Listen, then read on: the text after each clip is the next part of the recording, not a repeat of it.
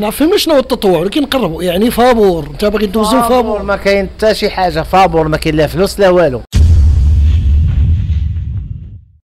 إلا أن هذا المندوب راه رأي آخر. أنا والله لا حشمت نجاوبك. واحد باغي يعطيك يد المساعدة. مجانا يدوز الناس ويفتح ليهم في سبيل الله والسيد المندوب كيقول لك لا ما محتاجينش لهذه المساعدة.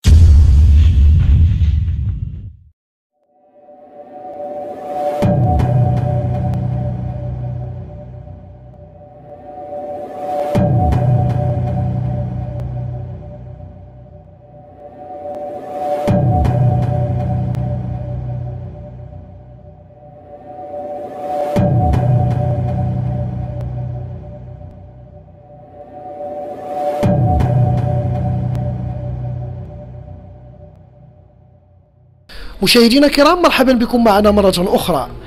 تلقي اتصال من عند الدكتور محمد طبيب اختصاصي في جراحة العيون. له مسار طويل في كل ما يتعلق بالطب. دكتور محمد العمر ديالو 58 سنة. زاول المهنة ديالو حوالي 30 سنة 15 سنة في القطاع العام و15 سنة في القطاع الخاص. ما يستهويه وما يتمناه. أن يساهم في روح المواطنة اللي كيتحلى بها من أجل الوصول للهدف اللي هو يتمناه أي إنسان هو الرقي بالقطاع ديال الصحة في المغرب انطلاقا من التخصص ديالو. دكتور محمد فكر بدا بطريقة ممنهجة من أجل أنه يساعد الفقراء وفق المستطاع يتمنى كل شهر أن يشرف على تتبع الناس في هذا المجال المغاربة اللي ما فحالهمش. كيقول محمد حوالي تا 1500 أو 2000 إلى كتبت لي في الشهر ندوز ليها فابور الخطوات الأولى في الإطار القانوني والمنهجية ديال الصحة في الموضوع انطلق من المشروع اللي قدم السيد وزير الصحة. فلم يتوانى ولو لحظة. بدا بواحد المنهجية. أنه يساهم في هذا الإطار اجروا مع رب العالمين. ناقش الموضوع مع المدير الجهوي. المدير الجهوي لم يتوانى ولو لحظة أنه يرحب بالفكرة. هذا تزاد قوة عند دكتور محمد باش يوصل الهدف ولكن المساطر فيها إجراءات. يجب كذلك إخبار المندوب. هنا غادي توقف الأمور. المندوب له رأي آخر. مشاهدينا الكرام قصة صعبة تبعوا معايا. تكلمت عليك دويت على المسار المهني ديالك دكتور محمد الله يوفقك. كيفاش شفتي هذا القرار الوزاري اللي بدا السيد الوزير اللي هو واحد التلاؤم أو الشراكات بين القطاع العام والقطاع الخاص من أجل الوصول لواحد المستوى راقي في التطبيب عندنا؟ حنا كنناقشوا الاختصاص ديالك اللي هو أنت جراح في طب العيون. مزيان. درتي الخطوات الأولى بديتي المشروع شفتي بالسيد المدير الجهوي تفاعل معك بشكل كبير وصلت عند المندوب ويصدمك. عاود لي من الأول. بسم الله الرحمن الرحيم. الحمد لله. دونك أنا طبيب اختصاصي جراح في طب وجراحة العيون. آه منذ 30 سنة 15 سنة من في القطاع العام و15 سنة في القطاع الخاص. وارتأيت بأن هناك نقص حاد في القطاع العام وبغيت نعاون آه الشعب ونعاون الناس ديالنا. ديال المواطنين لأن هناك خصاص مهول في القطاع وبغينا نعاونوهم باش نقوموا بعدة آه، فحوصات طبية مجانية في طب العيون وكذلك عمليات جراحية لأن الناس هناك نقص حاد والناس محتاجين لهذه الجراحة ولهذا والتطبيب. دونك قمت الخطوه الأولى مشيت عند السيد المدير الجهوي اللي رحب بالفكرة وقال لك ما كاين حتى مشكل الرأس والعين يمكن لك تقوم ب ب بالمهام ديالك ولكن خصنا نشوفوا السيد المندوب المندوب اللي كاين في في في الجهة اللي فيها أنا العيادة ديالي مشيت لعنده رحب بيا ولكن قال لك أسيدي حد الساعة ما محتاجينش البارتناريا مع القطاع الخاص. وهذا شكل لي صدمة كبيرة لأن أنا ما كنتش كنتظر هاد هاد ردة الفعل ديال هاد السيد المندوب خاصة أن هناك نقص حاد في التطبيب هناك مواعيد كثيرة كتمشي حتى ست شهور باش الناس يدوزوا. الناس الطبيبة كاينة طبيبة وحدة ديال العينين اللي كتجي تدوز خطرة خطرة وعندها صحة على قد الحال وما كتجيش ديما. donc وما كتفتحش donc الناس بقاو الضياع. الناس كيجيو عندي العيادة ديالي الخاصة كي كيسولوني وكي كي مساكن محتاجين ولكن الله غالب. أنا قمت بهذه البادرة باش نعاون الناس باش نعاون الساكنة اللي فين كاين العيادة ديالي باش نكون عند حسن ظن. هنا هنا سؤال.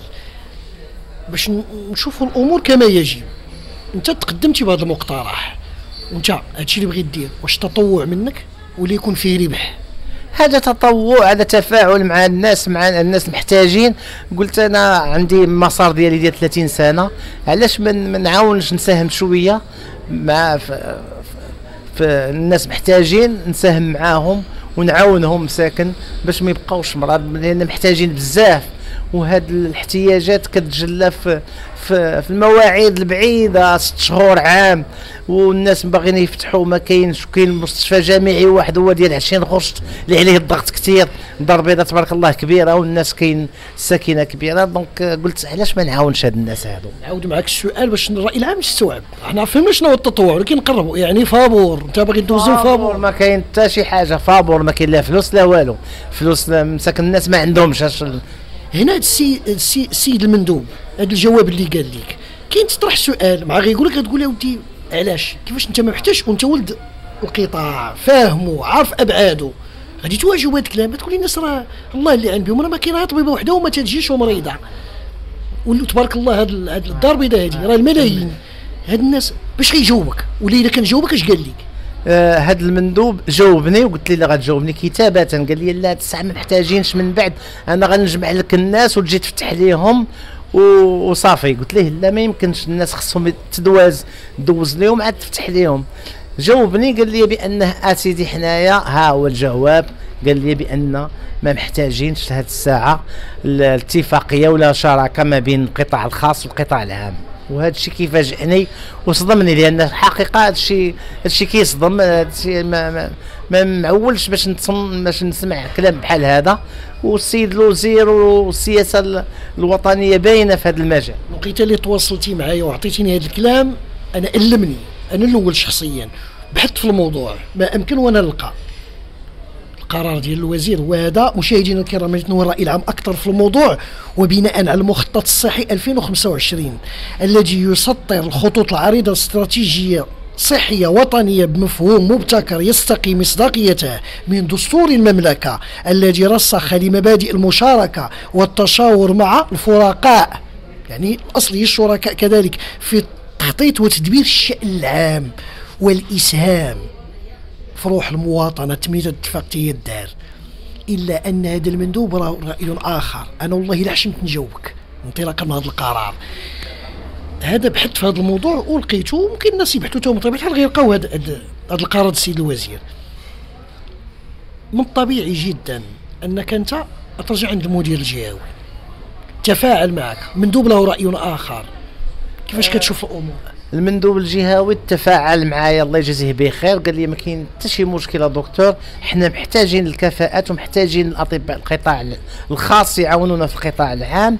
آه ممكن نشوفوا إلى إلى اقتراح آخر نمشي مندوب آخر. أنا هادشي صدمني لأن السكينه ديال فين كاين فين كاين أنا وفين كاين العيادة ديالي الناس هناك نقص حاد ومهول في التطبيب surtout جراحات وفحص العيون. donc ما ما فهمتش أنا هذا السيد هذا. هنا غيكون سؤال غادي يطرحوه الناس. وخصني أنا هذا هو دوري نطرحوه معاك. هنا غادي نقدروا نقولوا مثلا علاش أنت ما تقدرش دوز لهم في العيادة ديالك؟ هنا إلا كان هذا الجواب هو اللي صحيح قول لي أنه الجراحة خصها لها إمكانيات خصك matériel خص يكون مستشفى كبير هذا هو الإشكال اللي مطروح. آه. يعني ال logistique تكلم لي يعني. آه الإشكال هو في ال logistique. ال logistique ما يمكنش نخلطوا القطاع العام والقطاع الخاص. القطاع الخاص بوحده والعيادة عندها عندها قوانين ديالها وعندها الناس ديالها اللي كيجيو ومحدودة.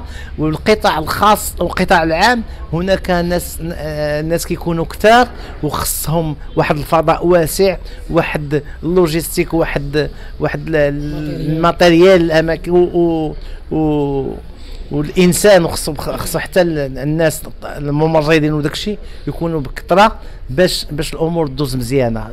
السبيطار دابا المشكلة هي هذا السبيطار هذا فيه جميع الإمكانيات. عنده قسم الجراحة وعنده قسم التطبيب قسم مجهز ولكن اللي غادي يخدم ما كاينش. دونك هذا مشكل كبير كيعانوا منه السكان ديال ديال ديال المنطقة. ملي تواصلتي معايا كان عندي معك واحد السؤال قبل في الهاتف وسولتك قلت لك هاد روح المواطنة قلتي لي ودي أنا شحال هادي وأنا كنت كنساعد شوية. دابا قلتي لي أنا كبرت وكان واحد قبل ما توفى الأم ديالك وصاتك على الدرويش وألمك ياك. وقلتي أنا ندوز حتى ندوز حتى 2000 في الشهر ما عنديش المشكل أنا. نساهم. ماشي مشكل. مساهمة من روح المواطنة من روح التفاعل مع مع مع السكان. ومع الناس مساكن اللي محتاجين. donc الإنسان خاصو يحاول يعطي ال maximum اللي يقدر يعطيه لأن الدنيا فايتة باللي فيها. و donc الإنسان خاصو يقوم بالعمل ديال الخير ويعاون يعطي يد المساعدة للسيد الناس المحتاجين. دكتور كنتمنى لك التوفيق. الله يوفقك يا ربي. مشاهدينا الكرام كما تبعتوا معنا هذا هو واقع الحال. كارثة بكل مقاييس بعض القرارات طائشة. السيد المندوب اتخذتي هذا القرار. رديتي فيه الذنوب لما لا؟ الإسهام في روح المواطنة. وهناك أوامر جلالة الملك في هذا الشأن. هناك كلمة؟ تفضل. هناك كلمة نكمل آه شكرا. آه الكلمة اللي بغيت نقول هو أنه باش باش تلقى طبيب ديال الطب القطاع الخاص ويجي يسمح في الوقت ديالو وفي المهام ديالو ويجي يساهم في القطاع العام راه قليلة بزاف راه ما تلقاهاش. إلا ما نقولش منعدمة لأن آه، درت واحد واحد آه، آه، طلعت على الآراء ديال الأطباء. شحال من طبيب سولته في القطاع الخاص؟ كنقول ليه واش تجي تساهم في القطاع العام؟ كيبقاو يضحكوا كيقول لك ما عندناش الوقت لهذا الشيء ما يمكنش. كيقول لي واش انت تجرأتي ومشيتي وقلبتي؟ قلت لهم هي أنا تجرأت ومشيت وقلبت وحاولت نساهم ولكن الناس ما بغاوش يعطوني يد المساعدة. بعض المسؤولين الله يهديهم هذا المندوب هذا اللي ما بغاش يعطيني يد المساعدة. ما فهمتش علاش بغيت غير نفهم علاش. واحد باغي يعطيك يد المساعدة. مجانا يدوز الناس ويفتح لهم في سبيل الله. والسيد المندوب كيقول لك لا ما محتاجينش لهذه المساعدة.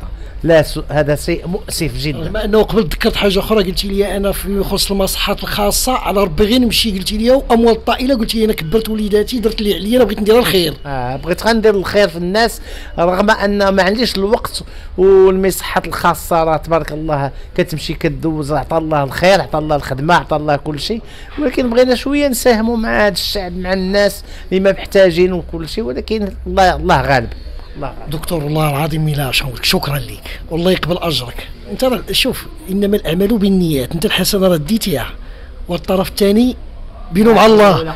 مشاهدينا الكرام كما تبعتوا معنا هذا هو واقع الحال وهذه رسائل قوية. لا نوجه التهم لأي أحد ولكن لتبيان الحقيقة نوصلوا الرسائل واتخاذ المتعين أكثر في الموضوع. سيد الوزير لك منهجية محكمة. مسؤولية صعبة واقع الصحة في المغرب انت عارفه كنتبعوا مجموعة من الخطوات ديالك كتمشي لمجموعة من المراكز المستشفيات كتوقف على مجموعة من الأمور اللي هي شيء أنا واخا شي نقول قليل إيجابي. كتلقاه في المستشفى والسلبيات هما كثار إشكاليات كبرى. ولكن إلى توفروا عندنا مثل هذه النماذج. هذا طبيب نموذج. دار اللي عليه بغى يضحي. وتصور معايا السيد وزير الصحة أنا كنتكلم معاك بشكل مباشر. إلا عندك في الدار البيضاء عشرة الأطباء عشرة بحال هذا السيد. كل واحد فيهم تيقول لك أنا بغيت ندوز بين 50 حتى 60 حتى 70 حتى 100 المجموع غادي يعطينا 2000 ما غنساهموش. ويكونوا أطباء في تخصص آخر. ما غاديش يكون عندنا واحد الرقي في الصحة. الإشكال الكبير ليس من هو في محط صنع قرار. السيد الوزير الكل متتبع بعض الخطوات الإيجابية اللي كدير. ولكن بعض الجنود موضوع النقاش. ملي كنقولوا جندي له مواصفات خاصة إلا أن البعض له رأي آخر. الطبيب كان ذكيا انه تعامل إداري وهذا هو الجواب ديالو بخط اليد ديالو. هي وثيقة وحنا راه الإشارة أنك تشوف هذا الجواب. قال لي إحنا ما محتاجينش. هل هو جواب في نوع من الاستهتار؟ هل هو جواب موضوعي؟ هل هو جواب مسؤول؟ والدار البيضاء فيها الملايين. ونسبة الفقر مسألة معروفة. لماذا يأخذ هذا القرار بهذه الطريقة؟ لأنه السيد السيد الوزير أولا لو تم تفعيل مجموعة من الخطوات في مثل هاد, هاد, هاد الاقتراحات اللي كيديروا هاد الناس ما كان الوضع الصحي اليوم يكون في هذا الوضع. هذه المسألة الأولى. المسألة الثانية النداء كذلك للسيد المدير الجهوي. أرجوك لك سلطة المندوب بطبيعة الحال اتخاذ المتعين أكثر وديو الأجر. مادام هاد السيد هذا جاب البراءة التامة. يتكلم بروح المواطنة بدون مقابل يريد المساهمة من أجل علاج مجموعة من الناس ما فحالهمش ما عندهمش الإمكانيات علاش نحرموهم؟ وهذا هو واقع الحال. مشاهدينا الكرام نحن نتتبع هذا الموضوع وسوف نوفيكم دائما بالجديد فيما يخص حيثيات هذه القضية.